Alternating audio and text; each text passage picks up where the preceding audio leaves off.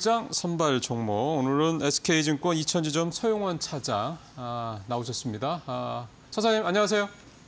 네, 안녕하세요. 자 오늘 뭐 어, 종목 준비해 보셨습니까? 뭐 지난번에도 좀 소개를 해드렸던 종목인데요. 한국항공우주 보고 있습니다. 전에 나오셔서 말씀하셨던 종목이구나.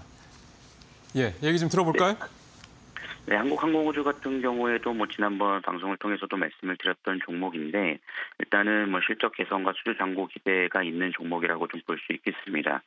최근 우주항공 측 항공청에서도 성층권 태양광 드론에 대해서 상용화 추진 발표를 함으로써 어, 한국항공우주와 LG에너지 솔루션이 협업을 하는 어, 지금 의견이 좀 나오고 있는 상황이라고 좀 볼 수 있겠고요.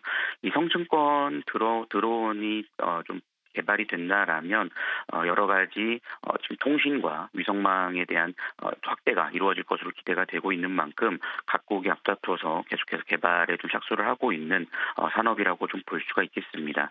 그렇기 때문에 앞으로 우리가 미래의 흐름에서 기대해 볼 수 있을 것으로 예상이 되고 있고 어저께 같은 경우에도 그 뉴스에 따라서 항공항공우주가 장중에 조정을 보이다 상승 전환하는 모습들을 보이기도 했습니다.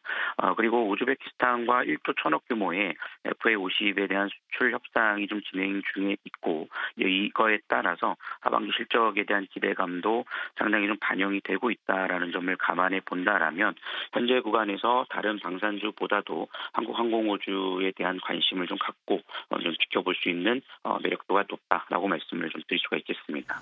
예, 오늘 지금 보니까 가격이 57,400원 찍고 있는데 어, 가격대는 어떻게 좀 보면 좋을까요?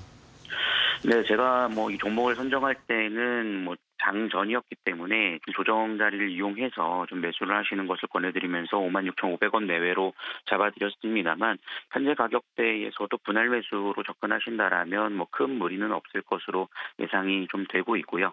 다만 이제 박스권 상단이라는 점을 감안해 볼 때좀 어, 한반에 매수하시기보다는 좀 나눠서 좀 진행을 해나가 보시면 좋을 것 같고요.